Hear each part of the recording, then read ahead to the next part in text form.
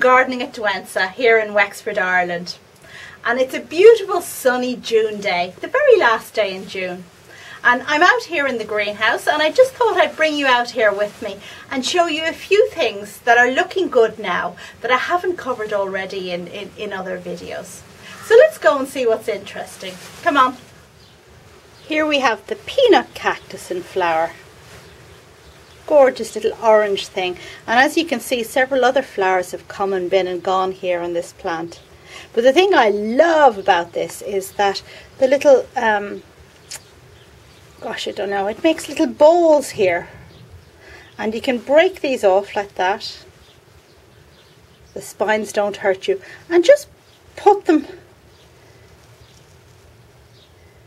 on the ground well on the pot like that on the soil surface and they'll root and grow away. So I mean it's a great one. I remember playing with this when I was a kid on our nature table in school and breaking off the little bits of cactus and um, moving them about and propagating them really. So it's a great one for kids to experiment with and they won't get hurt.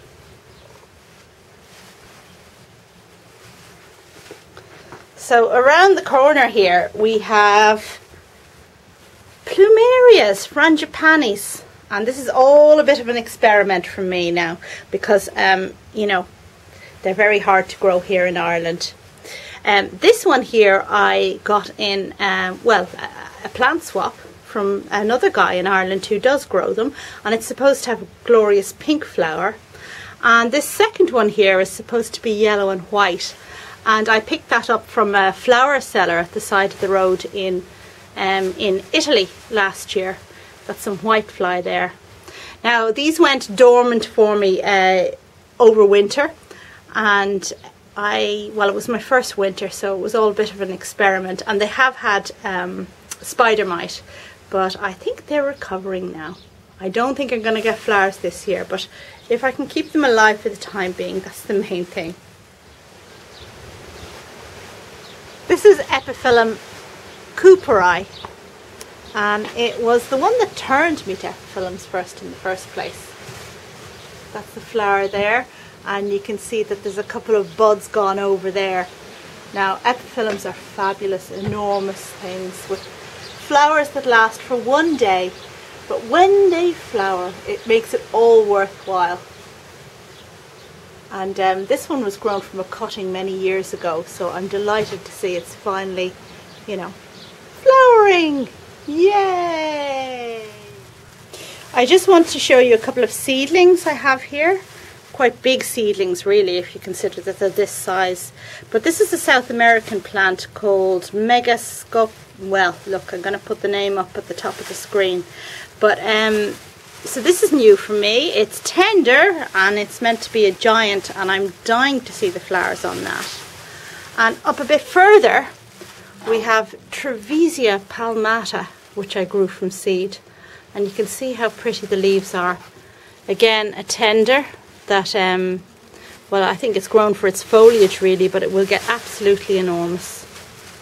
Must give those a water. This here is my one and only Hoya. And finally it's in flower. Look at that.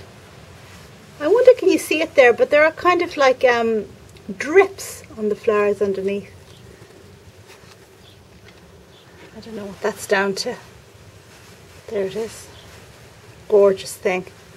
Anyway, the story of this uh, Hoya was a friend of mine in South Africa was very naughty and I'm not recommending this in any way but she dug up a piece from her garden and put it in an envelope and sent it to me and I've had it for a few years but this is the first time that it's flowered I can't actually get the scent from here because it's a good bit back. But um, Hoyas are meant to be beautifully scented, so I'll have to stick my nose into it in a minute. So that's the Hoya. Now let's have a look over here. And finally, let's have a look at this fern. Now, this fern has been in a couple of uh, videos we've done, but I've never talked about it before. And I'm not big on ferns and the names are really hard to remember. But this fella has going for it the fact that it likes sun and it likes well-drained soil. and I am trying to pull the label out but I can't. Okay, I'm going to have to put the name up above on the screen. But um, it's a fern that sits very well on my sunny display and just adds a bit of an extra foliage um, uh, interest to, to the whole thing. Okay, so that's my uh, video on, well, other interesting things in the greenhouse that I haven't covered so far. I didn't get to everything, but I got to enough for the moment, I think. Now I'd better sign off and go water those poor Trevesias that were very thirsty looking. So thanks very much for watching. Please do subscribe and um, check back in again soon. That's all for now. Bye.